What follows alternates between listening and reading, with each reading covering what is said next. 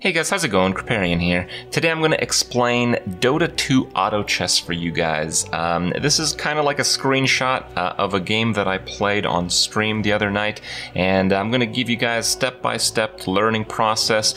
This is basically a Dota 2 community mod, so it's free. You can go and play it. Um, it appeals to the likes of a lot of Hearthstone players. It's kind of like a card game. There's really not much chess involved. Uh, it's kind of a cool little mini game. Um, the main thing you have to understand is that um, there's no like tutorial. It's not a full-fledged game, so the learning curve is absolutely brutal. Okay, it's total brutality out there. Um, if you're a new player, you are going to get devastated. So I'm going to help you guys get a little bit better through some learning tips in this game. I'm going to quickly explain what everything is get you on track, and we'll leave you guys with a pretty interesting game. So um, the last three that I played, I won two of them, so I'm pretty decent, even though, yeah, I'm still kind of like an intermediate level player, but uh, the fundamentals, I got them, and I'm going to tell you guys about those today. So this is when kind of when the game starts. You can see my mouse here. I'm going to tell you guys what's happening. So uh, you go through different rounds. When you step in, there's eight players total, and you play against random players totally at random. You can play against the same guy constantly for like a a really long time. If you're very unlucky, he might have a counter comp to you. Uh, some of the rounds are against PvE encounters, and PvE encounters give you items, and we'll talk about that in a second. Um, there is a timer, and the timer is pretty harsh. It's pretty harsh even for an intermediate player. As a new player, you will run out of time, so don't get too frustrated about that. Chesses, this is how many pieces or dudes you can have on the board. It correlates directly one to one with your chess player level. So when you start the game, you're level one, and you can highlight over this little icon here to see how much more experience you need for the next level. Each level increases the number of units you can play by one up to a maximum of 10. It also increases what you see in this shop. This is basically the chess shop all right? So leveling is pretty important. You get one experience uh, for each game that you play, uh, and you can boost your experience with this F. F costs 5 gold and you get 5 experience. You can level the hard way the first few levels, but after that you're gonna have to start effing pretty hard. Uh, this is your gold. Gold is a very interesting mechanic, and I'll talk about the intricacies of that uh, a little bit later on. Um, so this is like your donkey, what you control the dudes, you control the chess pieces, just to explain the, the keybinds. So Q is select something to put it on the board or move it on the board. Uh, w is move something off the board. Uh, e is sell something. Uh, and D is refresh shop. So refreshing the shop costs 2 gold. That's why it's grayed out at the very start of the game. So you can see that there's a bunch of units in front of me. This is basically the shop. Uh, if you like more than one unit, you can lock it here, but don't worry about that too much.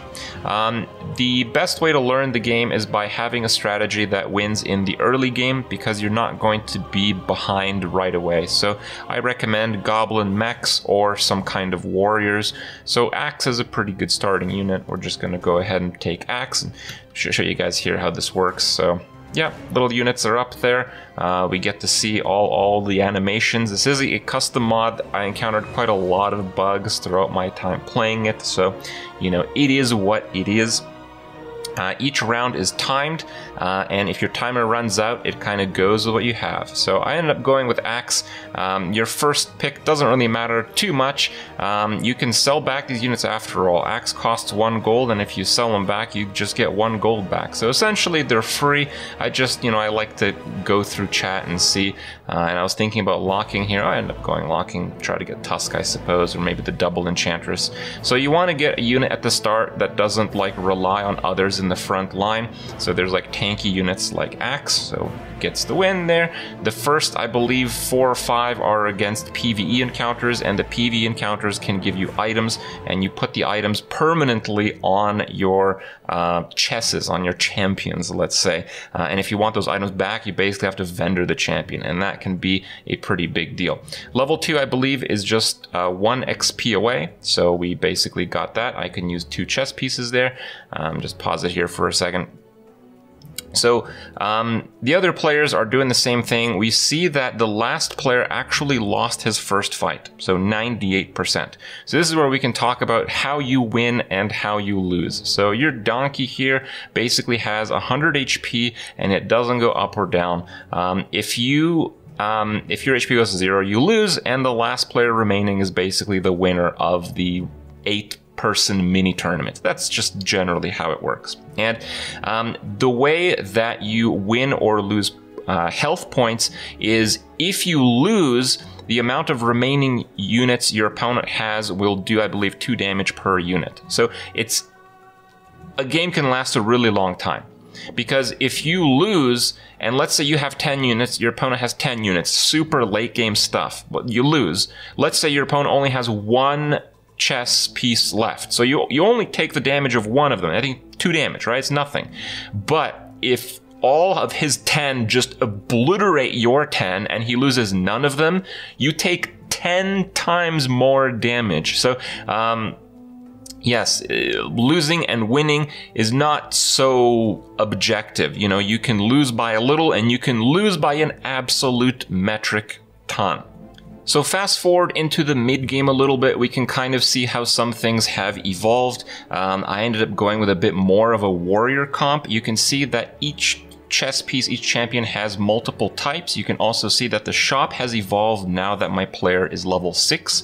So I have units that cost more than 1 gold. Some cost 2, some cost 3. Some later on will cost 4 and 5. 5 is the max, and those are kind of like the legendary guys. They are quite rare, and it's important to know that the unit pool is shared. So uh, I don't think you should take that into account for your first like five games or so. But later on, you'll see that if other people are take, like, let's say you're going warrior, you're, you're going to see if other people are also going warriors because if there's other people doing your strategy you're going from the same unit pool so you'll actually struggle to level up your guys so how do you level up your guys you can see that i have some guys benched here you can have uh, eight slots benched which is basically chess pieces that are not being used um, in your kind of ongoing formation.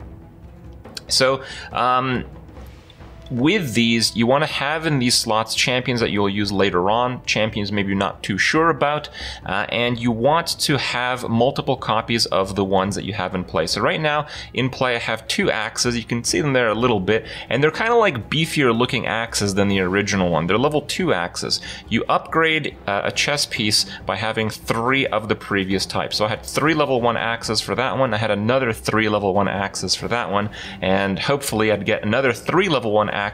So my three level two axes, I could get one level three axe. That's kind of the idea. And you want to cycle through these. That's why you have the shop reset. That's why it's important to not have exactly the same strategy as other people. And um, in terms of like the archetypes, you want to match up some synergies.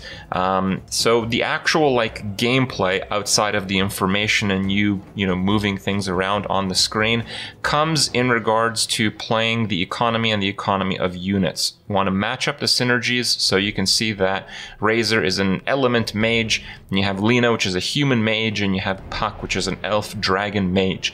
So if I had all three of those, they would activate the mage synergy, which I believe is target has reduced magic resistance or something like that. So um, it's very powerful synergies. You know, if you're just playing random units and your opponent is playing uh, units with synergies, you're probably going to lose. So that's one aspect that you can control, and you can control the number of units that you see here through shop refreshes, through player levels, and that is controlled through gold. So you can see now I have 35 gold, which is quite a lot and you can bank up a lot of gold in in order to have um, bonuses. So the, the main bonus is interest.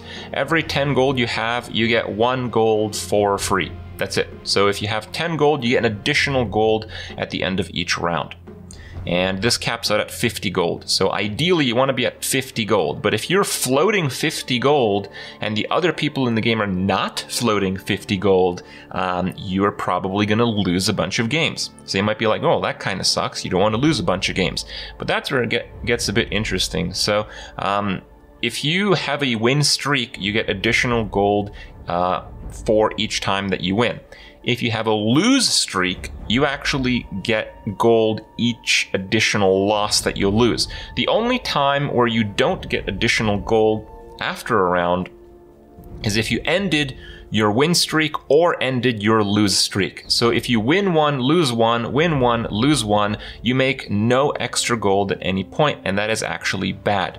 So basically, if you're just starting up the game, I recommend that you go for some of the stronger early game stuff. Go for warriors, go for mechs, go for goblins. They're very good early game units that kind of struggle in the mid and late game, but it's very clear and it's a lot easier to play this game if you're winning, but always winning is not necessarily the best strategy. Banking up a lot of gold and losing, but not getting absolutely crushed so you don't lose that much hit points to maintain a lose streak, knowing just how much to put down so you lose, but you don't get absolutely annihilated in order to have recurring gold bonuses is kind of like the winning play in some cases, and knowing where those limits are is something you'll have to learn with experience. So um, that's why we see a lot of gold there. Uh, typically, when you are starting to lose really hard uh, against the remaining opponents, that's when I spend my gold. I typically try to level up so I can have more guys on the board going from like five chess pieces to like six, it's not just 20% more units, it's 20% more units with added synergies, added like auras and bonuses between the extra unit and the other five. So it's more than a 20% boost in power level. Number of units is very important to keep up. Now, when we fast forward to the late game, you kind of get to see the strategy in effect. When people start losing, they basically dump all their resources, and I ended up doing pretty well in this game, so I realized that all my opponents dumped their resources, so let me see if I can dump just enough of my resources, just, just enough of the gold that I've saved up to kind of match them. Um, I also noticed that a lot of my opponents who are doing particularly well against me are doing at least part magic damage and warriors, one of their weaknesses is magic damage. So to kind of go around that, um, I ended up blowing my gold here. Let's kind of see the end of this round. Um, I believe I lose this round, but it's very marginal. So if I had a 10th unit there, it would have been a pretty big deal. And you can kind of see there's a lot of things that you need to get a lot better at. Uh, like right now I have a full bench, so it's kind of a bit tricky. This 30 second window after each battle where you have to try to get ready and get a new composition can be uh, very difficult to maneuver around. Uh, even though I lost there, uh, it wasn't too too bad, and here we go. It's it's it's time to try to figure out what we're going to do. Um, uh, I see that uh, my axes. It's probably I see that the game's not going to last that much longer.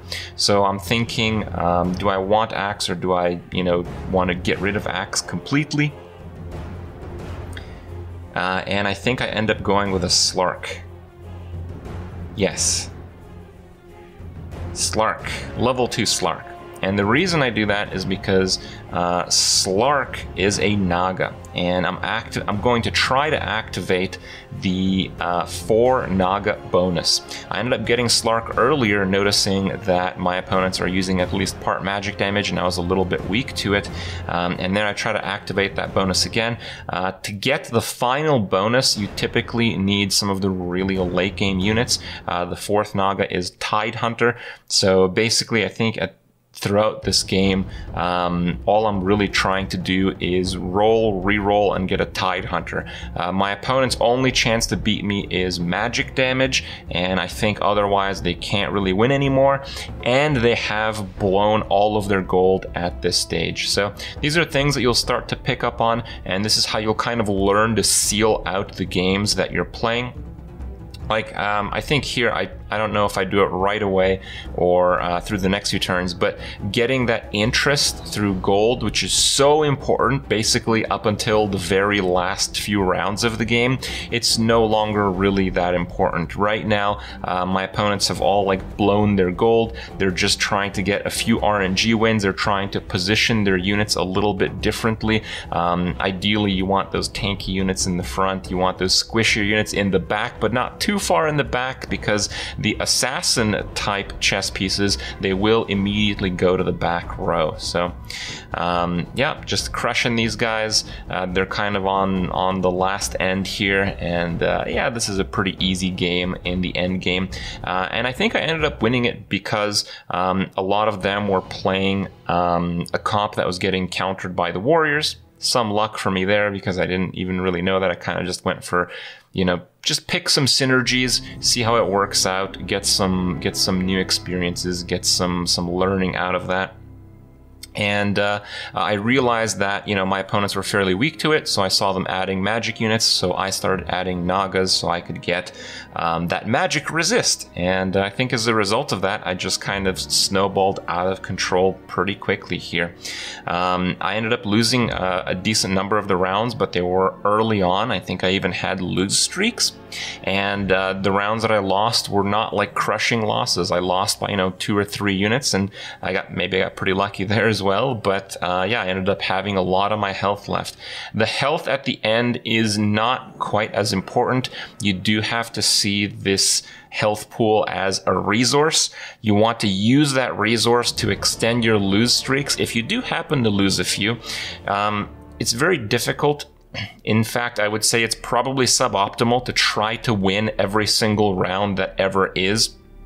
I think, uh, especially some uh, chess piece compositions, I know with Mage, perhaps, uh, it's very difficult to win the early game, so trying to excessively push the archetype to win in the early game, it can be less efficient than intentionally losing to build up a lose streak. But again, you don't want to lose by too much because you want to invest those uh, health points effectively.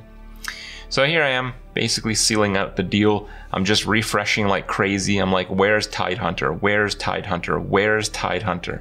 Two gold. You can refresh while the battle is happening, but when it goes to the ready stage, it automatically refreshes once for free unless you click this little lock thing. Uh, spoiler, we ended up blowing all of our gold, which is certainly the correct play in this scenario, to get that Tidehunter but I have a sneaky suspicion that it wasn't just luck. I have a sneaky suspicion that my opponents saw that I was countering their magic units with the Nagas, so um, at least one of them ended up buying the Tide Hunters, so I would never be able to get that fourth, uh, that that four Naga uh, chess piece bonus for my unit's magic resistance because uh, yeah, unit pool is shared. There's a lot of interesting aspects about this game, so uh, yeah, have some fun. Um, my final thoughts on uh, Dota Auto Chess. Um, it is a very fun game. It's a very cool game don't take it like too too seriously. Uh, my feeling is the hype right now is particularly high because it appeals to what a lot of card players like, but also because noob crushing is extreme right now. There's a lot of people playing who have absolutely no clue what they're doing, and even as even if you've made it to this point in the video, you should absolutely annihilate those players. So um, you kind of get that feels good moment because uh, a lot of these guys, you know, you just waste them. So yeah, it is what it is, but uh, you can get a few kicks. You can learn some things. There's certainly some cool mechanics uh, that we can all appreciate and have some fun at the end of the day. Give you guys a highlight of uh, another very notable game that I played, uh, which is uh, probably the craziest late game that at least I have ever experienced playing Dota Auto Chess. So uh, even if you've seen some Dota Auto Chess videos, you may not have seen anything quite like this. Enjoy the rest of it, and we'll see you guys tomorrow. Oh, real player alert. Dude's playing a ton of assassins. The mage doesn't really do very well.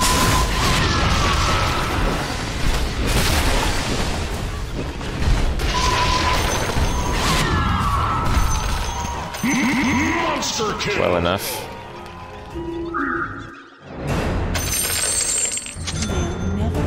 Trees are not so good with motion, you know.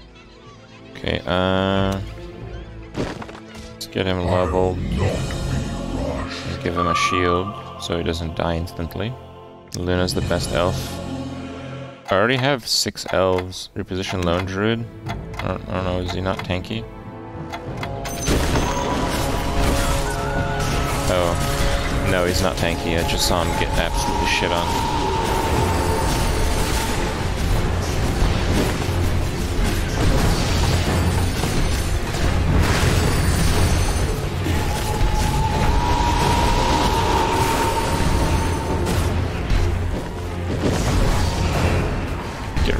Gabe. Fix your settings, Gabe. Fix it. Lone Druid. Protector. So good with motion, you know. He's the Druid, right? Yeah. Okay, so we'll put Druid there then.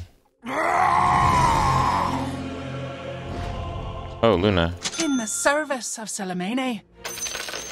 Okay, I'm gonna need another Luna. I'm running out of space right now. I have too many elves. I have more than six elves. So... I should drop an elf.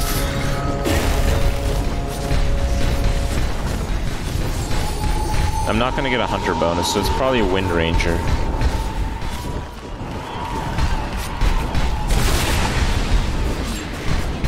Void stone. Who needs mana? I don't know the mana system, guys. You gotta tell me on this one. Oh god. Never find your grave. The next level of trees are not so good with motion, no. I'll not, I'll not be rushed. What is this? A game of some sort? Okay, let's sell the Wind Rippers.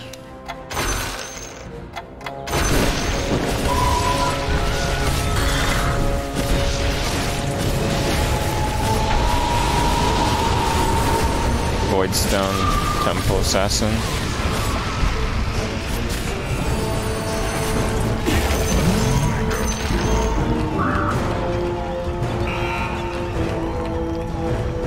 Wind Ripper. I don't know what those do. Necrophos. More what pucks. Okay. A game of some sort? I pupate anew. Uh, let's let's rank up. Oh, I guess I can't yet. Wow, that costs a lot to rank up. Holy shit.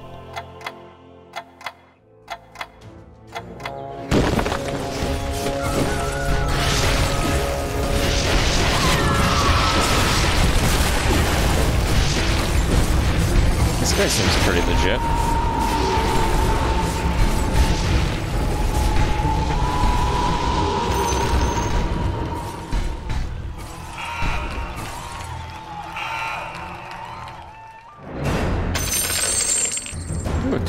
Assassin again.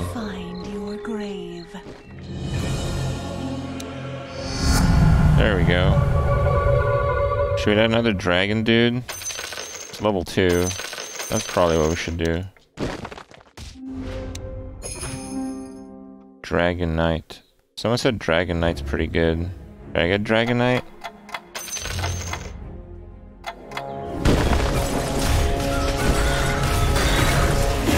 Yes.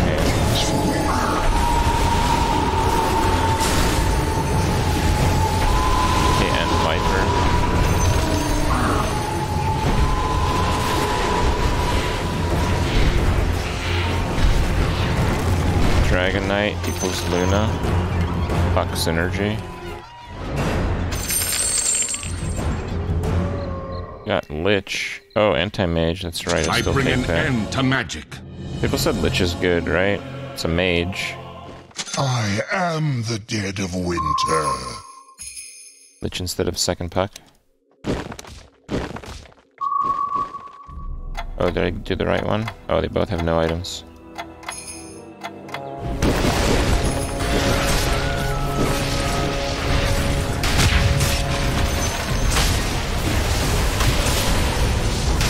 Oh, that guy seems pretty cool. Juggernaut.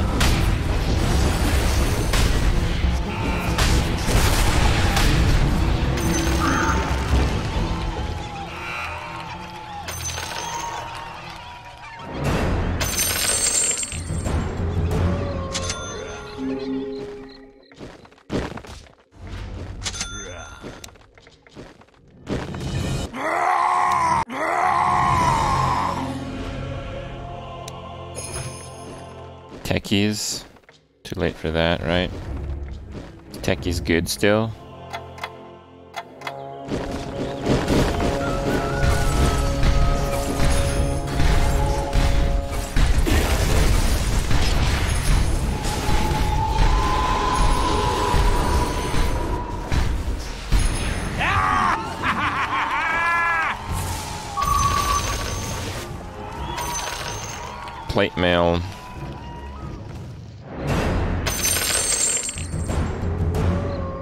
Enchanted, I'm sure.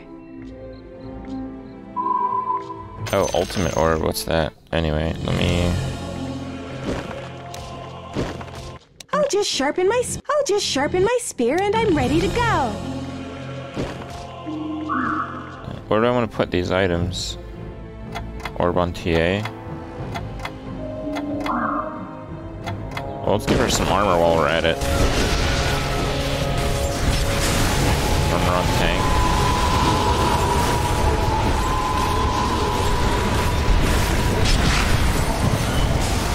Okay, well I don't fucking know right now.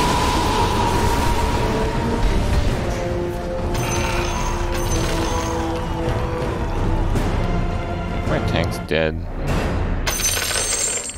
Oh, I got another lich. I am the de- In the service of Selemene.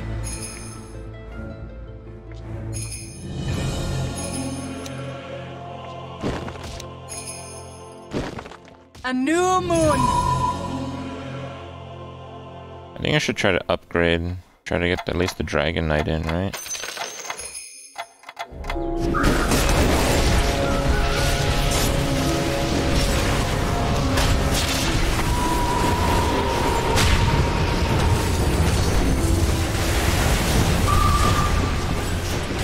Sell something.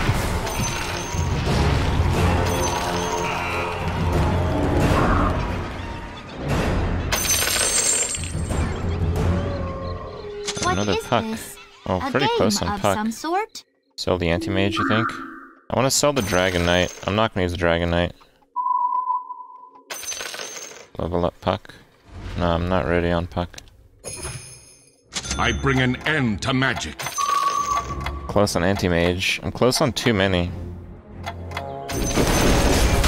Alright, I want to level up right now. Right. Forgot about that.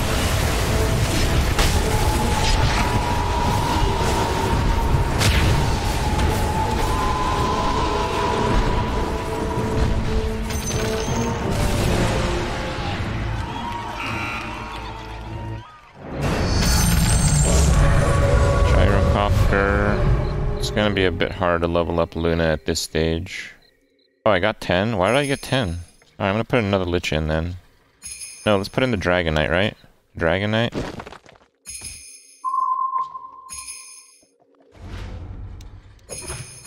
Oh, Puck. What is this?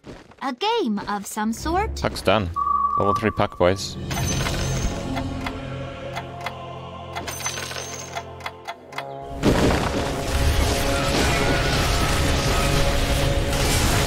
Need 3 Dragon.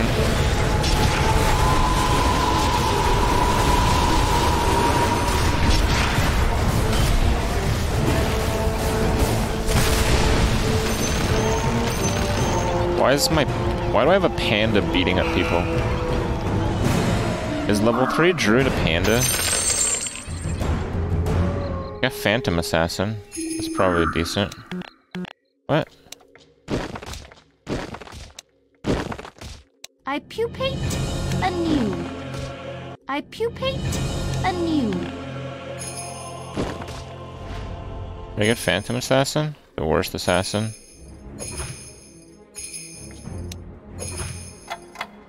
Oh, I I can level up am Lich. the dead of winter.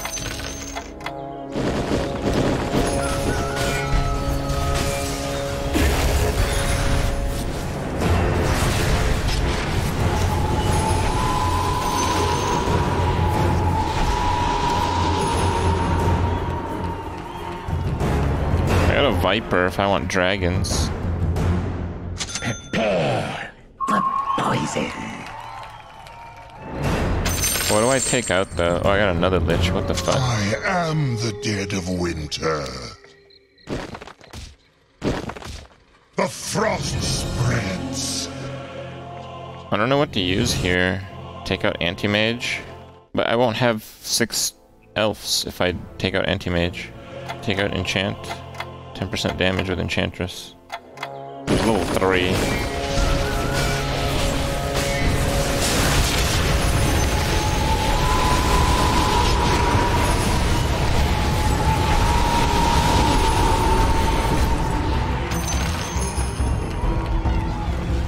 Drop Dragon Knight for a second undead. I bring an end to magic. Hmm, Is Tidehunter good enough? The hunter feasts.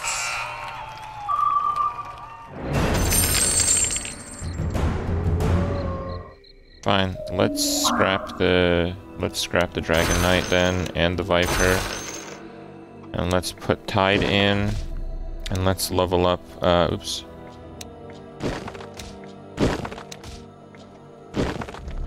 Vile sorcerers, to thy just reward my blade compels thee. Okay. Okay, let's refresh. Alchemist. I bring an end to magic. Tidehunter.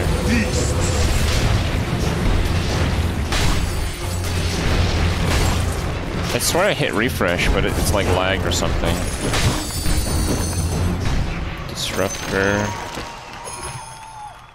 In the service Sure, I can try Luna now, because everything else is basically finished.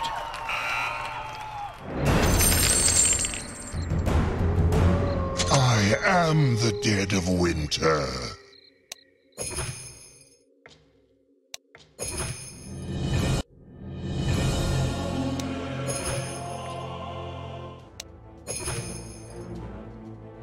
Let's stay at 50 gold.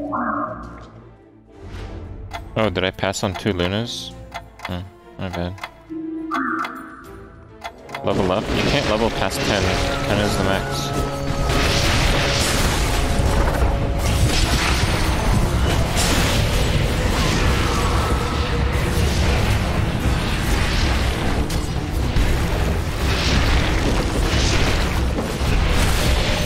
Oh, he has a level 3 Slark. Killing everything.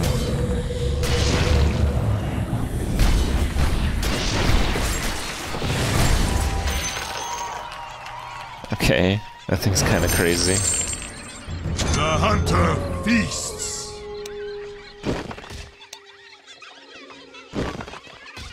I could eat a shark.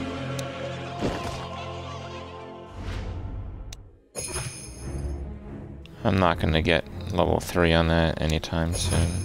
He's gonna be dead. Oh, anti-mage, an however. to magic. I need only one more.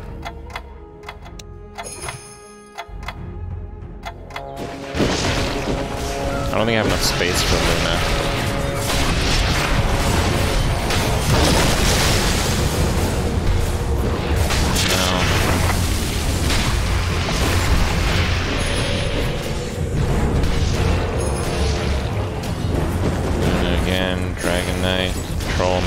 Medusa, Alchemist. Luna again, Anti-Mage, there we go. to magic.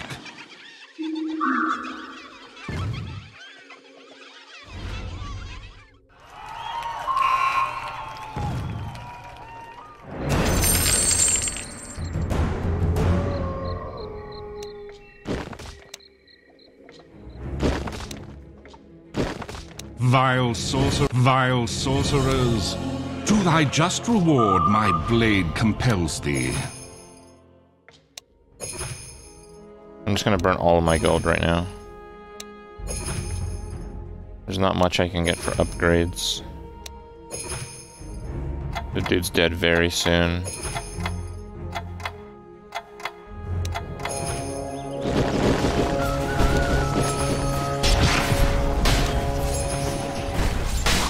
Did he just give up? Oh no, this is a dragon. The defeat of magic is complete.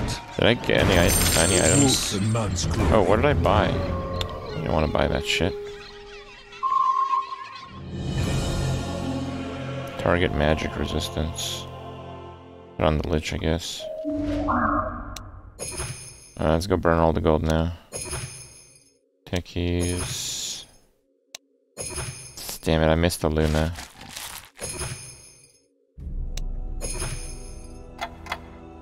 They'll never Templar Assassin. grave.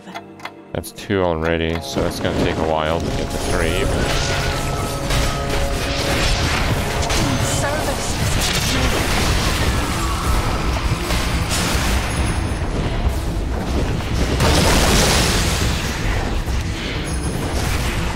Oh my god, there's another Lich.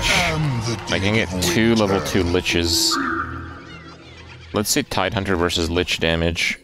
Do I want a level 2 Lich or a level 2 Tidehunter? Tide is CC. Oh my god, Templar Assassin. Okay, uh... They'll never find your grave. The next level of my ordination. Uh... The frost spreads. Oh, Lich is number one DPS? Really? Items combined for better items? Yeah, I don't know.